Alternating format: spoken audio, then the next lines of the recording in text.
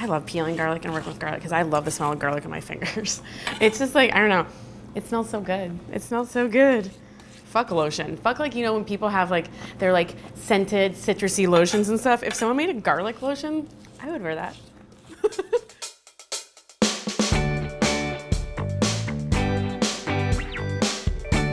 I'm Farideh, culinary director at Munchies, and today we're gonna make an Italian sloppy joe.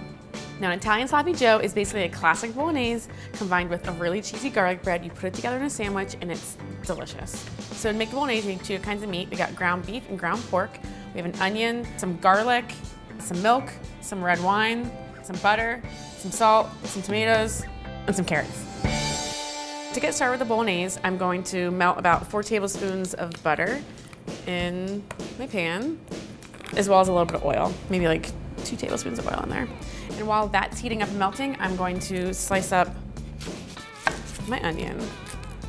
So I'm gonna dice this onion. It's just one medium yellow onion. And then I'm also going to peel and dice up a couple carrots for this guy as well. If you don't like carrots, you don't need to use carrots. I don't feel like that's necessarily something you have to do in this dish. I kind of like a lot of carrot in mine, which is why I'm using two. So add my onion and carrot into this guy. I always like the combination of butter and oil. I love cooking everything in butter, especially with like a lot of Italian cooking. Like I feel like butter in red sauce is like the secret ingredient, you know? So I'm gonna add a little bit of salt in here. This is to help it sweat. It kind of draws out the moisture and it will soften it nicely without getting too much color on it. Let's give that a nice little stir. So my mom's Italian. I actually learned to cook this recipe though at the Italian restaurant where I first learned to cook and kind of like did like learn to do everything there. Making their, their white sauce, their red sauce, the bolognese. I literally ate pizza every day though. It was great. This is getting nice and soft. You can see the onions are getting a little translucent. So now we're gonna add some ground beef. I use ground beef and ground pork in this. It just adds like a nice richness and fattiness as well to that. Big pot is ideal for making your bolognese. This is gonna be cooking for think like about an hour we'll have it cook. It's gonna be nice and saucy and just like really rich. Just stewing away. This is almost there. So I'm gonna just chop up some garlic. You can do a couple cloves, however much you want, and just roughly chop it. I actually, again, like with this, I love finding a little knob of like garlic in there that I'm gonna, it's like really soft and kind of like melts in your mouth. I'm also gonna add in some tomato paste, about, about two tablespoons. So tomato paste is one of those things that's really great because it's concentrated tomato flavors. I put that in all my red sauces basically. It adds just like a lot more like punch of tomato right right into it. I'm gonna add my red my red wine into this. I'm gonna add like a whole cup of it in here and let that reduce a little bit. All right, so I'm gonna add about a half a cup of milk to this as well. And it's whole milk. Now this is about a 28 ounce can of whole peeled tomatoes that I pureed. You can also just buy a can of pureed tomatoes. Bring this to a boil. I'm gonna reduce the heat to maintain a simmer, so like medium low, and let it cook uncovered for about an hour. It'll get nice and thick and everything. Don't taste it right now because this is gonna reduce down and that salt flavor is gonna get stronger. Wait to the end, we're gonna season it. See what it tastes like. Now this is not your traditional bolognese in the sense of like, you know, in Bologna they use white wine, I used red wine. Like this, usually a bolognese, like you can keep it on the stove for hours and just like really get it rich and deep. This is a bit of a faster version. The bolognese has been cooking for about an hour. It's gotten nice and thick. See how that's going there? It's good. So put some salt in there. It's delicious, nice and seasoned. And while that is just finishing up, I'm gonna get my garlic bread ready. We got a nice big loaf of ciabatta, and I'm going to slice it in half. I've made this sandwich before, and the thing about it, I did it on like a really nice Italian loaf before, that one of those nice, soft, fluffy ones. It didn't hold up well to the sloppy joe. It got sloppy AF, if you know what I mean. So I figured using a ciabatta is better because it'll be a little bit sturdier to hold this amount of meat.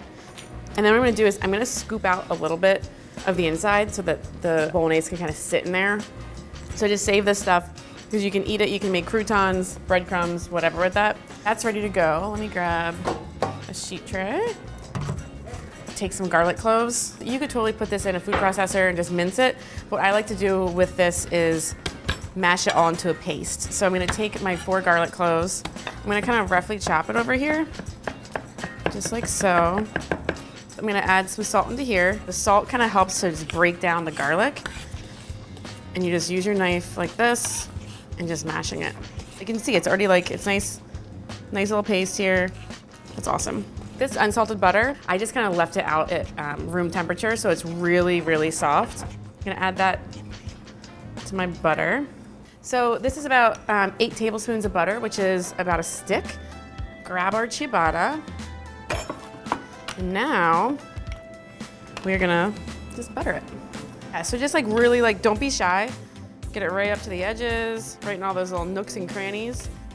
We're gonna add some of this cheese, the finely grated Parmesan and mozzarella. So just making sure you cover it evenly.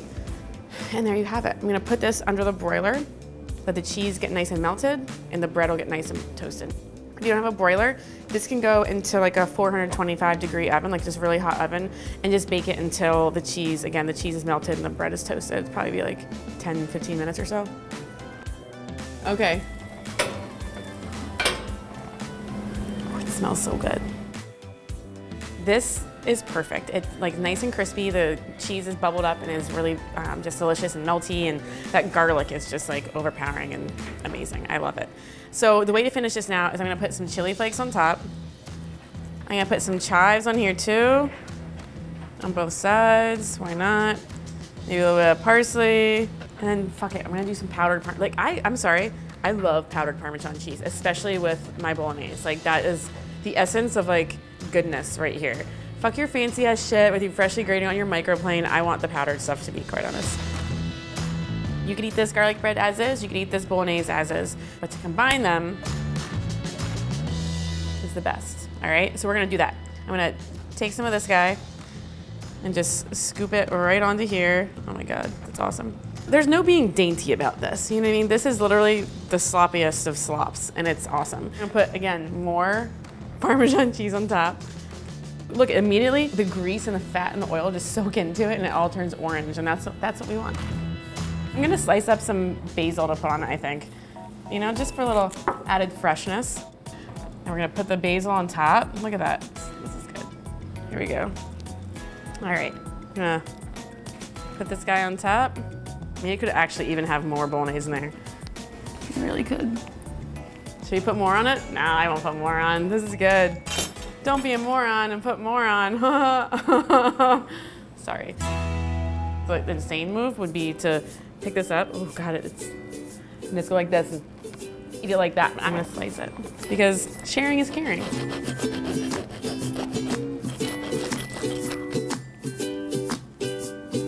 Oh yeah, see, it's just like soaking in there. All that butter, all that grease soaking in the bread. And that's gonna soak into your arteries later. And really just like, it's gonna be good. We're going for it. oh, where to start? oh.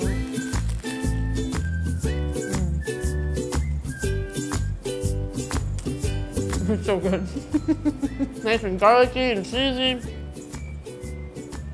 This is it. This is it, ladies and gentlemen. Italian sloppy Joe. Bellissimo.